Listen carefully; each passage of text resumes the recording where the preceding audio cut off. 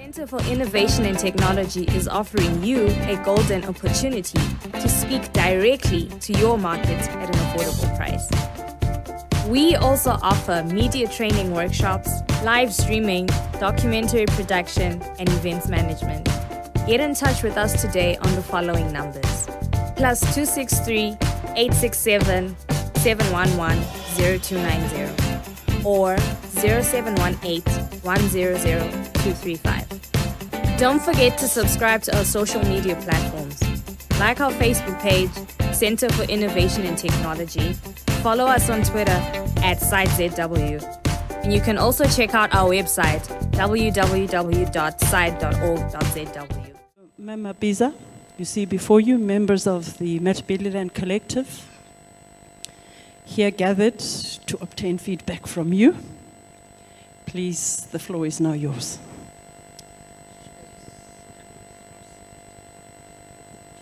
Uh, very good morning, ladies and gentlemen.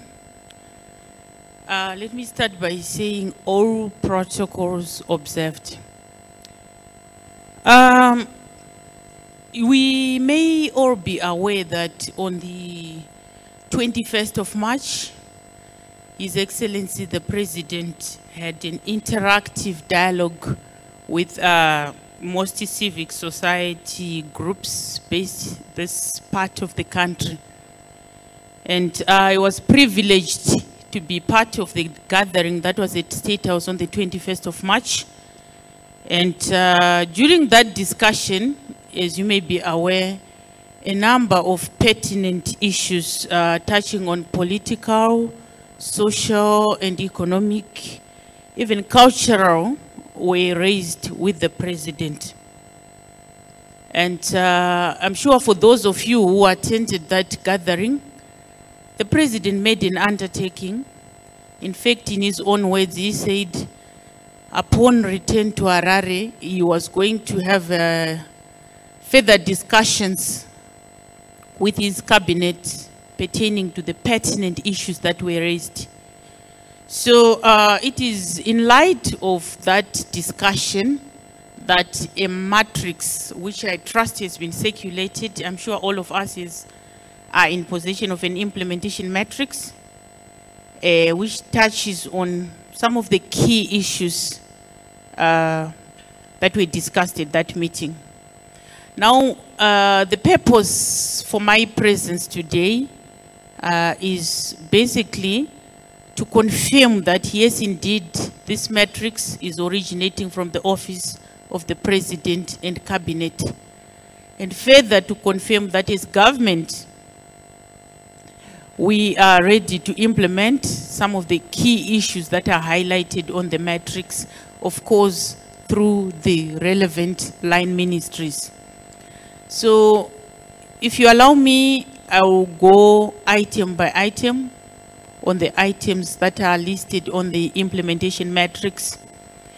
And uh, you may want to know that this matrix is a result of what we minuted as the Secretariat 1st of March.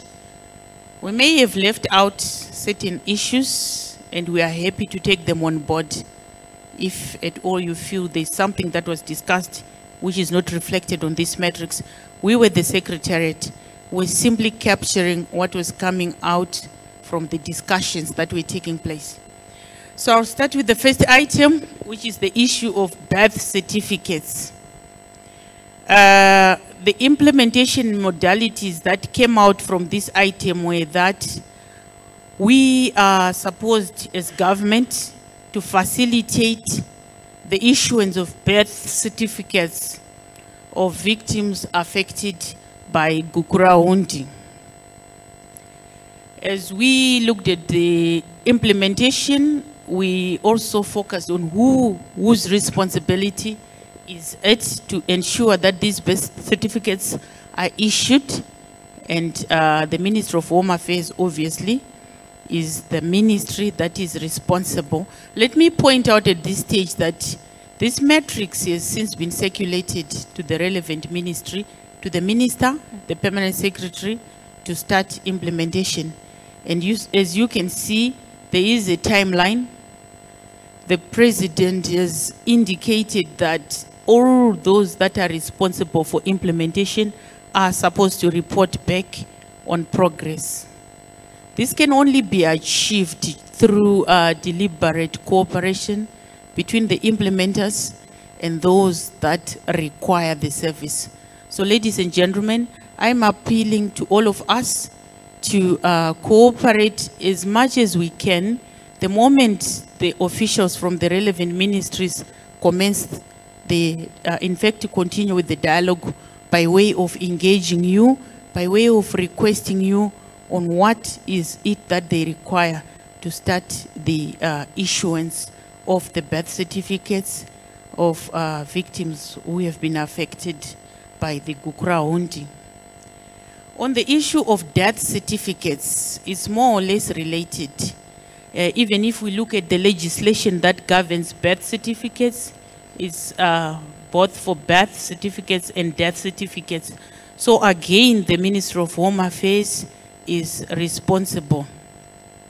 If you look at the implementation uh, time frame, this is something that the president felt should be implemented immediately without delay. So we expect that the Ministry of Home Affairs has since commenced the communication with uh, the Bulawayo Collective in terms of coming up with uh, the implementation modalities.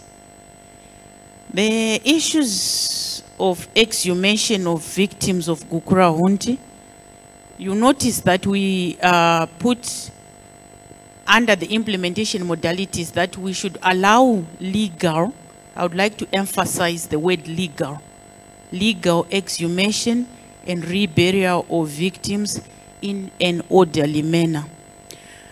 Ladies and gentlemen, the reason why I would like to emphasize the legal aspect to it, uh, as we were given these instructions as uh, the office of the president and cabinet, it was felt largely that there is a law that governs the issue to do with the exhumations of any, any, any, in any case, even without focusing on Gukurahundi, there is a law that governs the issue of uh, exhumations.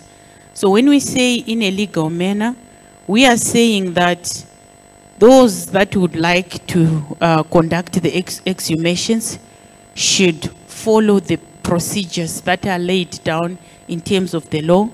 And as we looked at the implementation practicalities, we realized that it is the local authorities that are mostly in, involved and who are supposed to be assisting people to achieve an orderly uh, exhumation and reburial of the victims of Gokura Gukurahundi is what came out from the engagements with the president.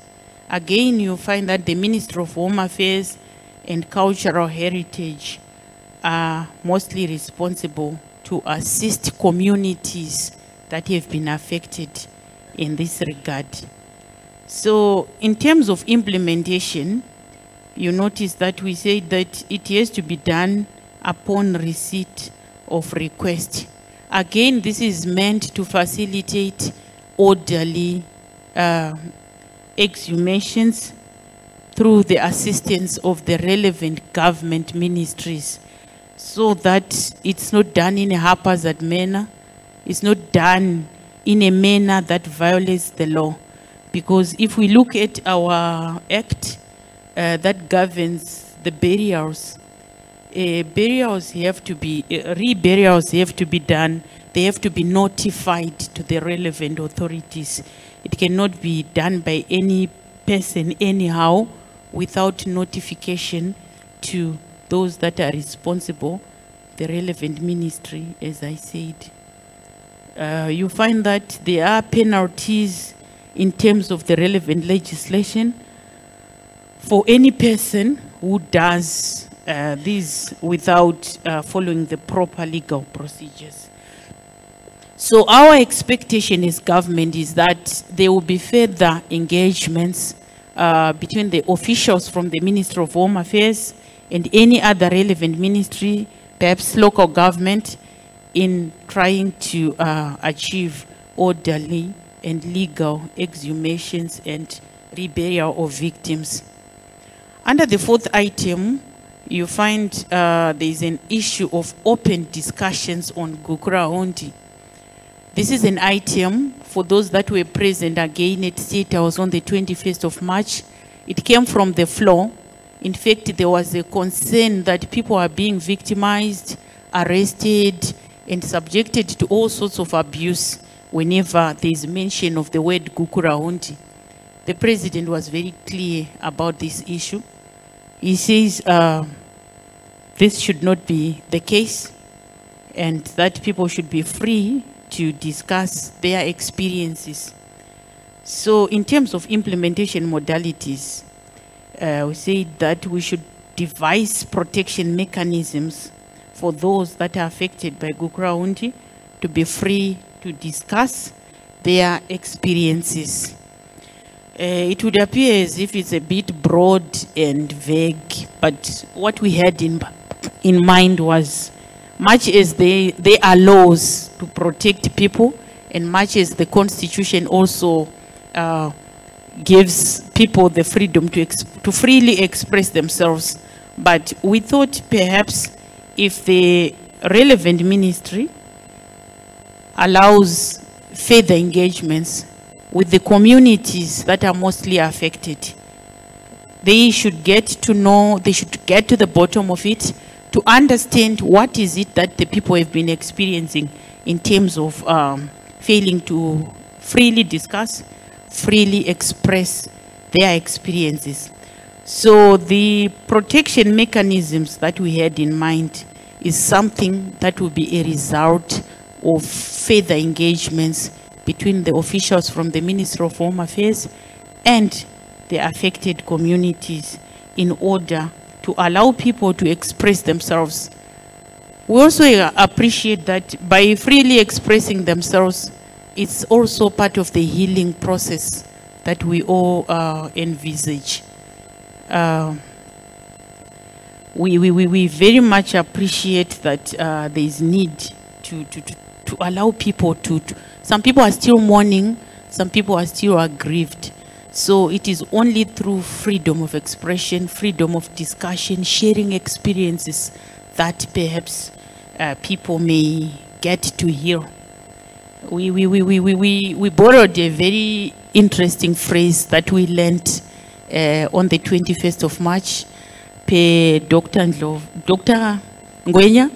He said, pain not transformed is pain transmitted. Am I right? Pain not transformed is pain transmitted. So because of that, we thought we should come up with those mechanisms to allow people to freely express themselves, to freely discuss their experiences in the process of healing. So the Ministry of Home Affairs, once again, is the responsible ministry, and we expect as government that officials from the Ministry of Home Affairs should be up and about visiting, discussing with various communities who have been affected, and the implementation is supposed to be immediate. When we say immediate, we mean like as soon as one receives this implementation matrix, there should be phone calls, perhaps to the Matabeleland collective to ask, for instance, how do we go about, what should be the starting point in terms of uh, the engagements. And our fifth item on provision of medical assistance. Uh, again, this item was uh, raised on the 21st of March to His Excellency the President, and it was mostly a concern that there are victims of Gukurahundi, who, some of whom are failing to access medical attention, some are maimed, some have uh, chronic ailments that they require medical attention, and yet they are unable to uh, provide for their own medical needs. So the implementation modality we have here is that special provision for medical attention should be provided to victims of Gukurahundi. Again, you notice this may appear to be broad, but what we had in mind is that when you reach out to the communities, it is only them who are able to identify and bring to the attention of government as to not only the numbers, but the names, the details, the location, where to find the victims, so that medical um, assistance can be provided. And again, this is an issue for immediate implementation by the Minister of uh, Health and Child Care. And because this involves pain and suffering, it's a human suffering issue, a human right issue, unfortunately, which has been denied for a long time. But it's never too late in terms of pain and suffering. We believe if the Minister of Health and Child Care immediately engage the communities, we shall be talking of people getting medical assistance in our next report. Because ladies and gentlemen, we believe we are going to be in a continuous engagement process. We are also going to be following up periodically to see what results have been achieved ever since the 21st of March when these things were first debated. So the Minister of Home Affairs is expected to be calling you, asking for details on how and where to reach uh, some of these victims who require medical attention. This is urgent in our view.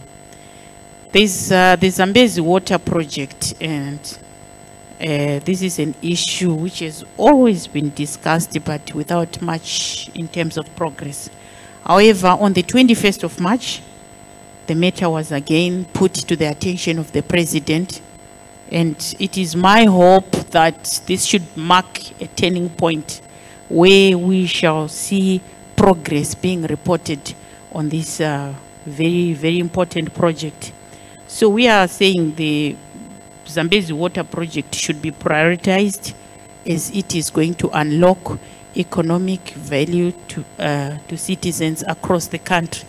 We know it was raised for, the, for this region, but by its very nature, the impact of the project will be not only for this region, but for the entire country. But we know where uh, people are experiencing uh, the worst in terms of shortages of water. So again, it was said to uh, to the, the, the responsible ministry, which is lands, agriculture, water, climate and rural resettlement. They have been told to give monthly updates uh, in terms of progress. You may want to bear slightly a little bit with these uh, implementing ministries because, for instance, when I spoke to the Minister of Lands about this issue, uh, it also requires budgetary and um, cost implications. So I'm sure they are working on, on that. It's something may, maybe we, we, we may give them a bit of time, but because the president himself said they should start to work on it and give monthly updates.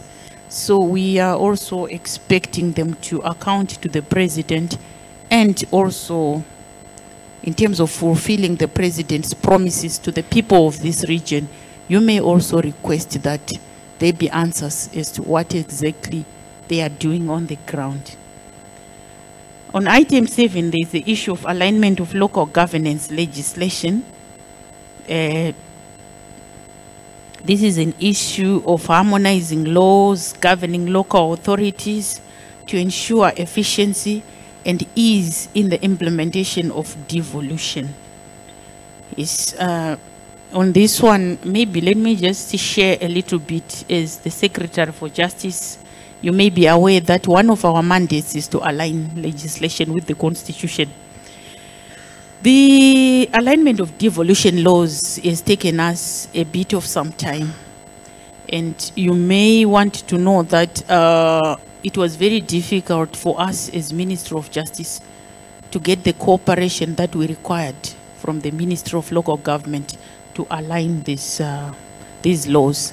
I'm very happy that the current dispensation have seen it fit to say we are now devolving and they've given us specific instructions to say, now you can align uh, the laws with the constitution.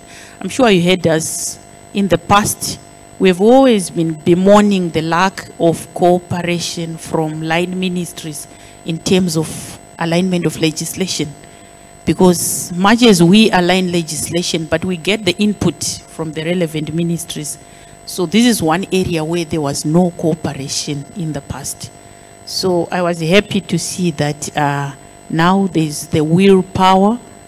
We are already seeing laws being harmonized. I understand uh, the Minister of Local Government working in conjunction with our Department of Legislative Drafting are at an advanced stage of uh, coming up with these laws for, for, for uh, local governance. But us as Minister of Justice, we are also working on a constitutional amendment to, uh, in order to enable devolution. Uh, you may want to know that we notice that there are contradictions in the constitution itself, especially pertaining to members of parliament who have been incorporated into the provincial councils. Uh, there's a section, should be section 129 if I'm not mistaken, uh, which uh, talks about the composition of these provincial councils. And again, when you go to the executive section where uh, it speaks about how a member of parliament vacates office, you find that a member, one of the reasons why a member of parliament will vacate office is when they become a member of these councils. So on the other hand, it says reason for vacation, and on the other hand, they are members of provincial councils. So to us, it was an incon- inconsistency, a contradiction, uh, for which we have amended the constitution.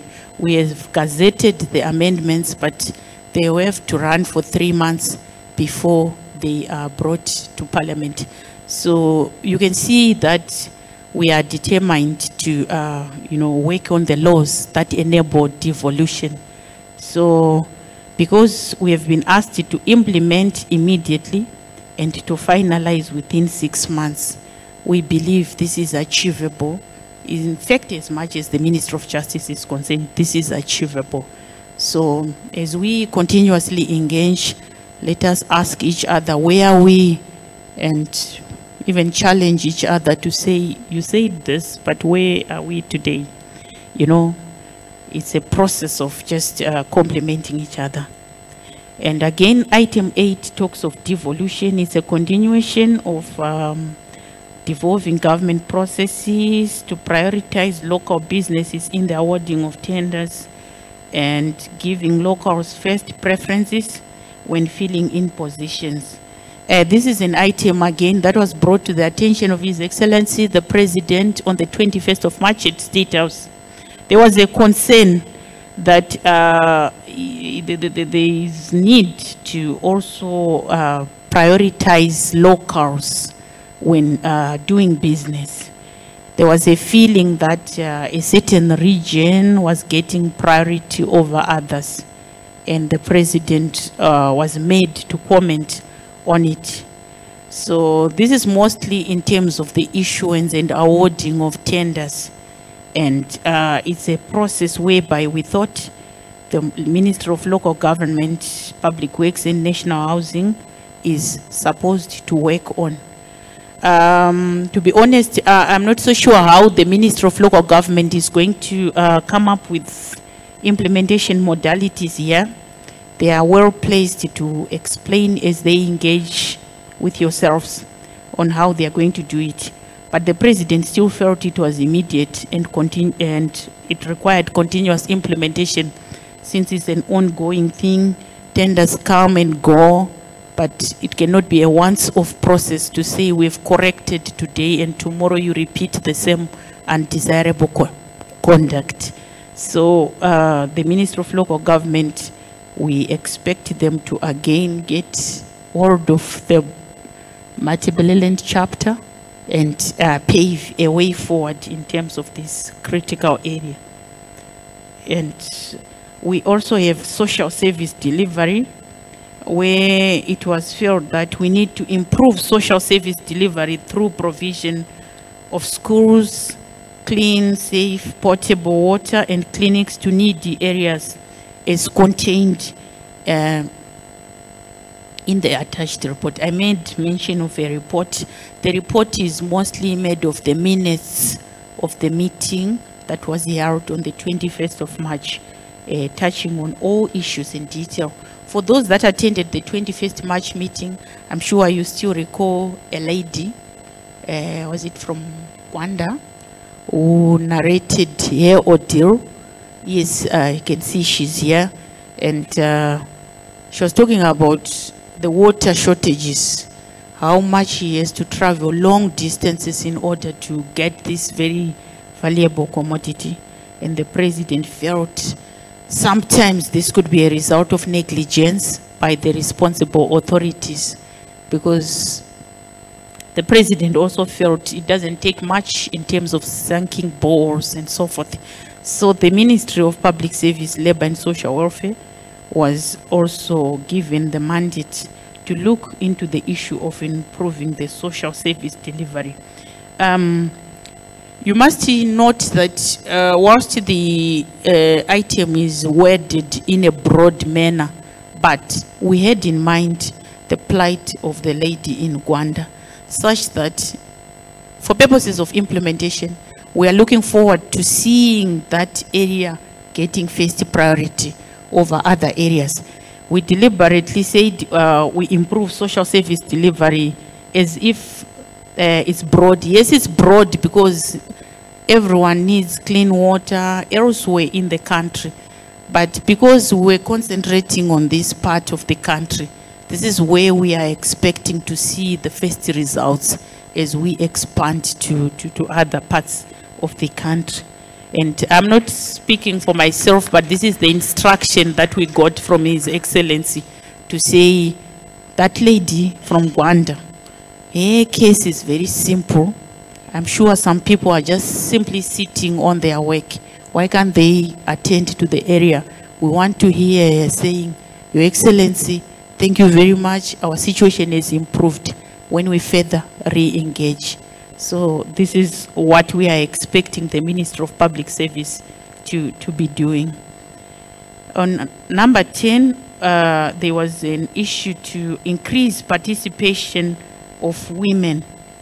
And this was uh, the, to ensure that there is inclusivity of women in parliament, uh, cabinet, and other governance structures. Yeah, this also was discussed very emotionally by some of the women who attended the 21st meeting. You can see the Minister of Justice has been tasked, but when I got that assignment, I scratched my head to say, um, surely how do I influence what happens in cabinet, for example? But uh, as we discussed further with some of my colleagues, we thought perhaps with um, uh, collaboration with the Minister of Women Affairs, we could look at our laws and see where the loopholes are. Much as the, the, the quota system is provided for, uh, uh, uh what, what, what penalties are there for non-compliance and so forth. Perhaps we could revisit our laws, revisit the penalty sections so that uh, you do not see a cabinet of three women and 100 men and so forth and so forth. So it's a question of looking at the existing laws and improving on them in order to uh, uphold the cause of women. On item 11, the NGO state engagement platform, uh, to establish an NGO state engagement platform for sustained dialogue between state and non-state actors. This was mostly for the Ministry of Public Service. When, when, when the president addressed uh, uh, on the 21st of March, he came along with the Minister of Public Service and she made an undertaking on her own. She said she wanted to engage uh, the NGOs so that there is a platform for dialogue between the state and the non-state actors it was also accepted that generally there is mistrust between state actors and non-state actors. and suspicion sometimes. In the worst case scenario, it degenerates into hate. But if you look at it really, it's for no apparent reason. We said there's one thing that uh, unites us. We are all Zimbabweans. And all the efforts that we try to put across are for the betterment of ourselves and our people. So we thought it uh, good that we should establish such a platform with the Minister of Public Service expected to have a first interaction with this part of uh, the country. And I'm sure she'll be getting in touch with you very soon. And uh, yes, this was also against the background of some NGOs suspecting that they were going to be deregistered, speculation, falsehoods, misrepresentations, and so forth and so forth. So the minister thought this is a very good idea to try and iron out our differences. We may still work together and even pursuing different interests, agreeing to disagree in a polite and humane manner. This is what is sought to be achieved under that item, and we are hoping that it's going to be implemented immediately. Immediately. And the issue of the NPRC, that is the National Peace and Reconciliation Commission lifespan, uh, the suggestion was that it be extended uh, for a further, was it five or 10 years? In fact, uh, coincidentally, on the date when the president engaged this community, uh, there was a judgment from the High Court in Masvingo where the High Court judge extended the lifespan. In fact, he ruled in favor of extending the lifespan of, of the NPRC. And I'm happy the president indicated that he was very much supportive of the idea of the extension of the NPRC. So on this item, the office of the president and cabinet together with ourselves, the Minister of Justice, we are expected to uh, make sure that this is achieved. Uh, some of you may want to ask me that, yes, the judge made a ruling and we saw the office of the Attorney General appealing against the decision. Yes, that was before they got instructions that we are no longer opposing this. Because naturally we were going to appeal, but the appeal may not be prosecuted because of this instruction from the president. But the initial reaction was to appeal, you know. So this is uh, where we are. And lastly, the expansion of the education curricula to include at least two local languages in the curricula. This was given to the Minister of Primary and Secondary Education, and I'm told it's something that they have already been doing. And the last item touches on police inaction. Uh, let me start by saying that uh, the events of 14 January uh, up to the 16th of January, where we saw people looting shops, destroying properties, harming and injuring other innocent people, they should not be repeated.